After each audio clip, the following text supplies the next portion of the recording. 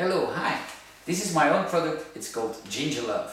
It's a mixture of lemon, orange, and the best ginger in the world. We got a lot of fans, uh, rock stars, famous rock stars around the world that are already fan. I hope you will be soon.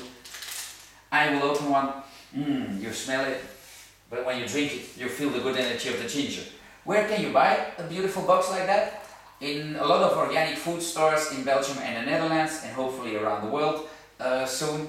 Uh, in all hip and trendy places where you see GingerLove, you can buy it or order it and have a look. Mmm.